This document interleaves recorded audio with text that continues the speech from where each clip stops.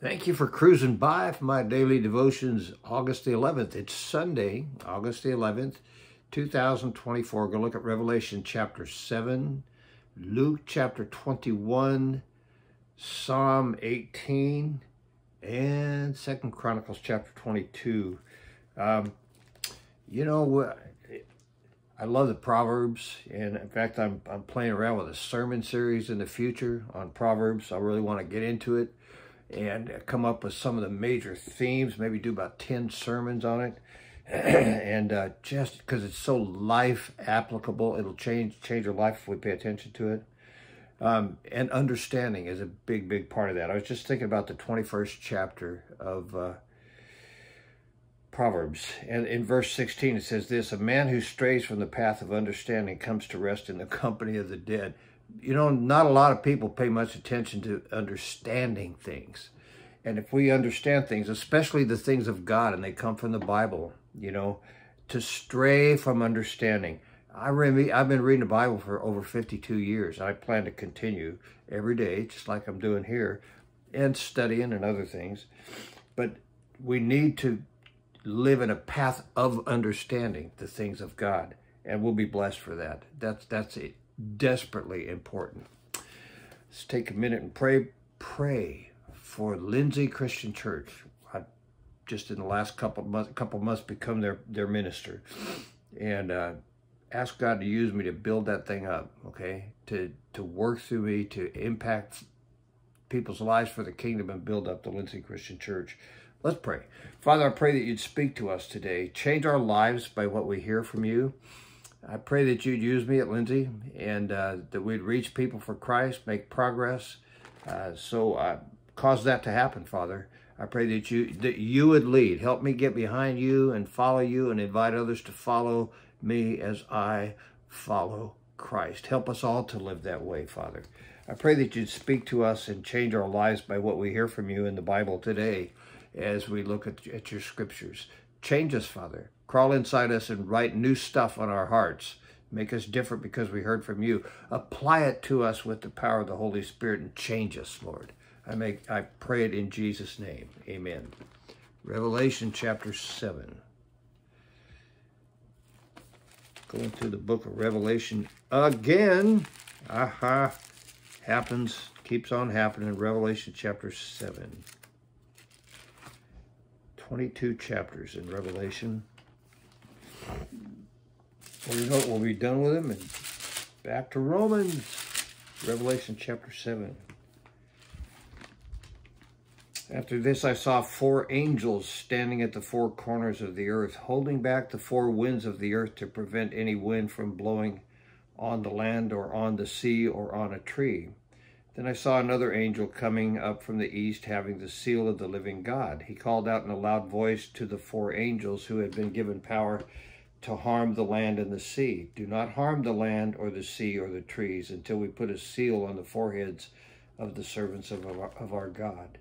Then I heard the number of those who were sealed, 144,000 from all the tribes of Israel.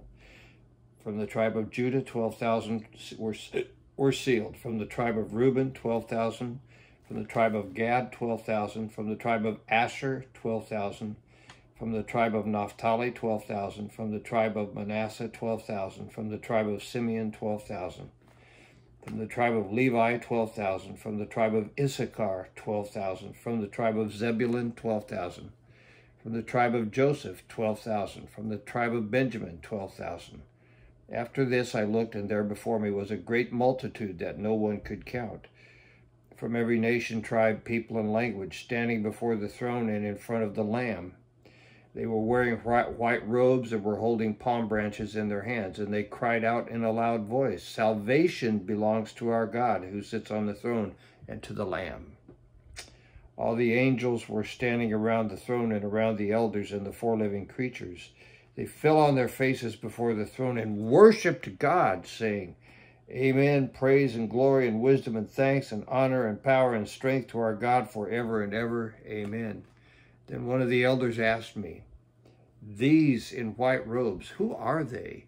And where'd they come from? He answered, Sir, you know. And he said, These are they who have come out of the great tribulation. They have washed their robes and made them white in the blood of the Lamb. Therefore, they are before the throne of God to serve him day and night in his temple. He who sits on the throne will spread his tent over them. Never again will they hunger, never again will they thirst. The sun will not beat upon them, nor any scorching heat. For the Lamb at the center of the throne will be their shepherd, and he will lead them to springs of living water, and God will wipe every tear from their eyes. Luke chapter 21.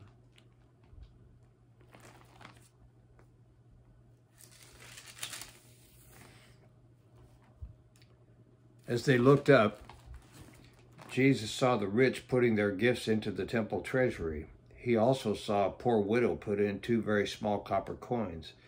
And I tell you the truth, he said, this poor widow has put in more than all the others. All of these people gave their gifts out of their wealth, but she, out of her poverty, put all she, put in all she had to live on. Gave it all up. That's sacrificial giving right there. Some of his disciples were remarking about how the temple was adorned with beautiful stones and with gifts dedicated to God. But Jesus said, As for what you see here, the time will come when not one stone will be left on another. Every one of them will be thrown down. Happened in AD 70 when the Roman general Titus destroyed Jerusalem, killed a million Jewish people during that time. Teacher, they asked, when will these things happen and what will be the sign that they are about to take place. He replied, Watch out that you are not deceived. Many will come in my name, claiming, I am he, and the time is near, but do not follow them. When you hear of wars and revolutions, do not be frightened. These things must happen first, but the end will not come right away. Then he said to them, Nation will rise against nation, and kingdom against kingdom, and there will be great earthquakes, famines, and pestilences in various places, and fearful events and great signs from heaven. But before all this, they will lay hands on you and persecute you. They will deliver you to synagogues and prisons, and you will be brought before kings and governors, and and all on account of my name. This will result in being witnesses to them.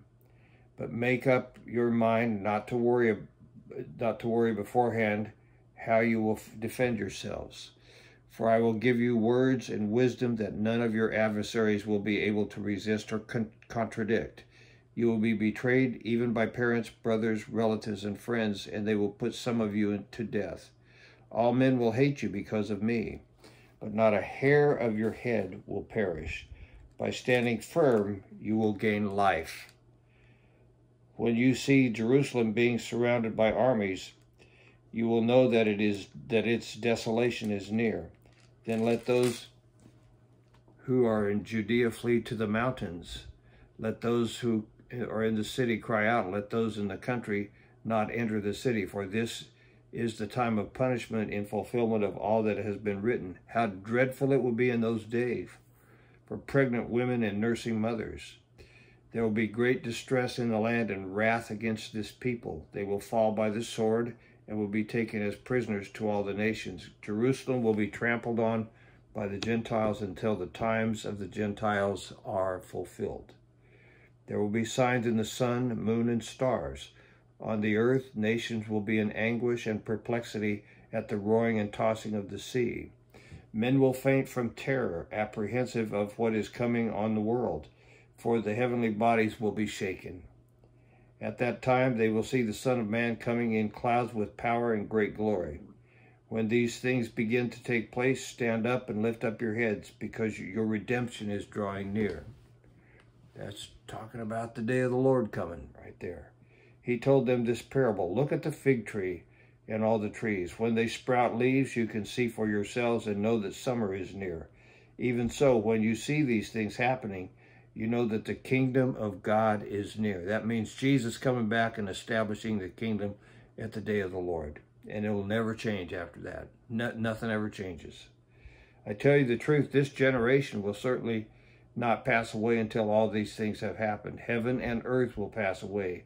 My words will never pass away. Good reason to read the Bible and get tangled up in his words. Never passes away. Stands forever. You're dealing with something eternal when you read the Bible. That's why I read it every day. Be careful or your hearts will be weighed down with dissipation, drunkenness, and the anxieties of life, and that day will close on you unexpectedly like a trap. For it will come upon all those who live on the face of the whole earth. Be always on watch, and pray that you may be able to escape all that is about to happen to you, that you may be able to stand before the Son of Man. Each day Jesus was teaching at the temple, and each evening he went out to spend the night on the hill called the Mount of Olives. And all the people came early in the morning to hear him at the temple. Psalm 18, another of the great Psalms.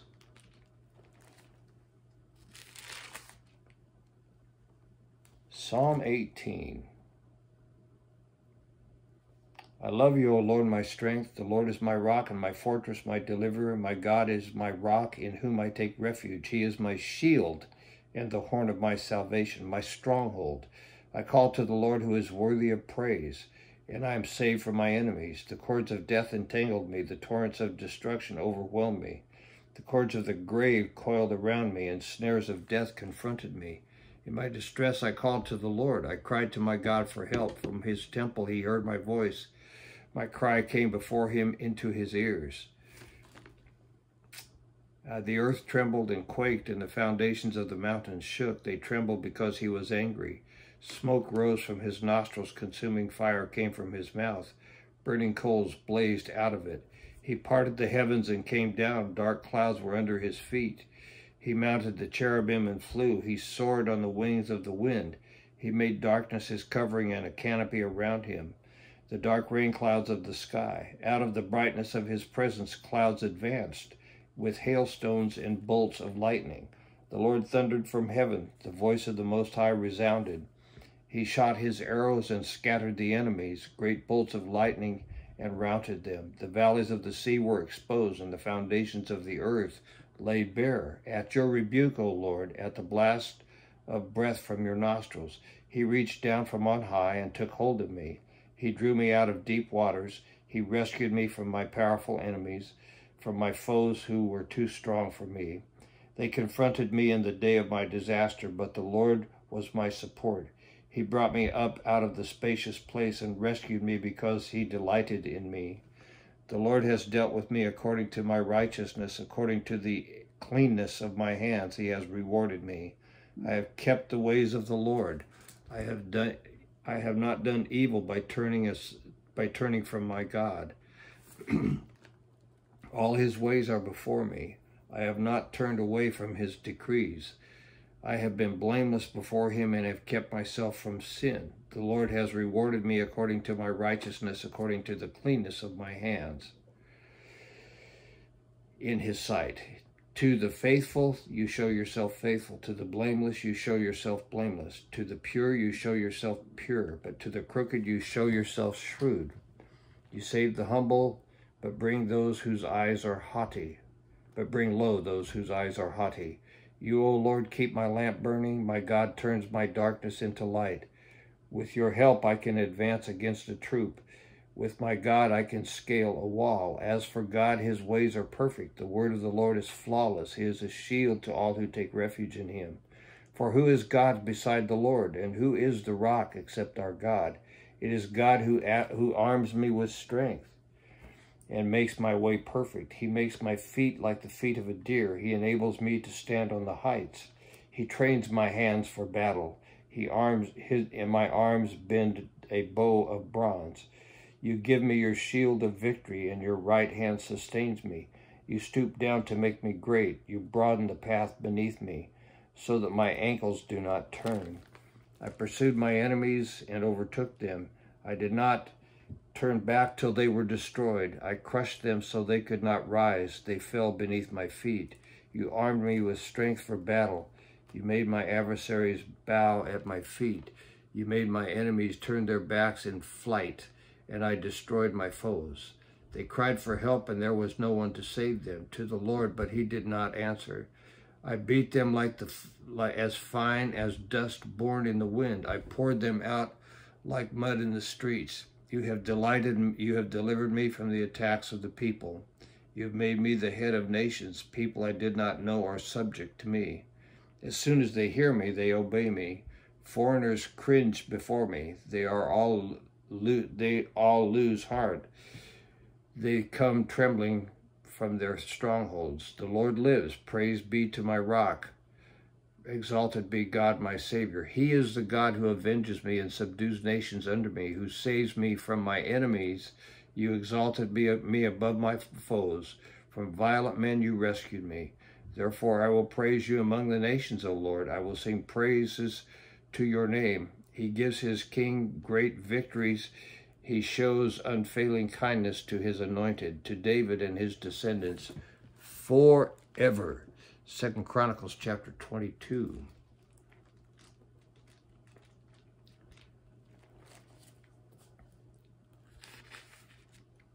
Second Chronicles chapter 22.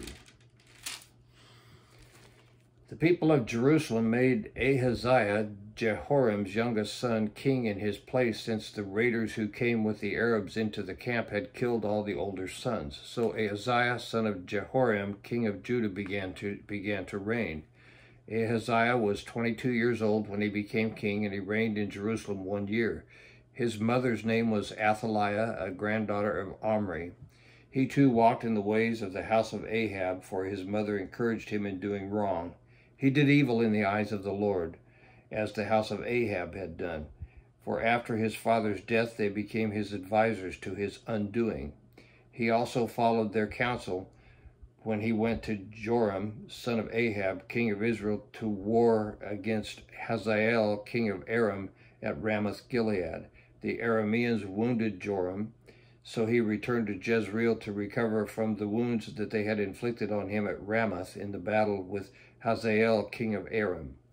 Then Ahaziah, son of Jehoram, king of Judah, went down to Jezreel to see Joram, son of Ahab, because he had been wounded. Though Ahaziah's visit through Ahaziah's visit to Joram, God brought about Ahaziah's, Ahaziah's downfall. When Ahaziah arrived, he went out with Joram to meet Jehu son of Nimshi, whom the Lord had anointed to destroy the house of Ahab.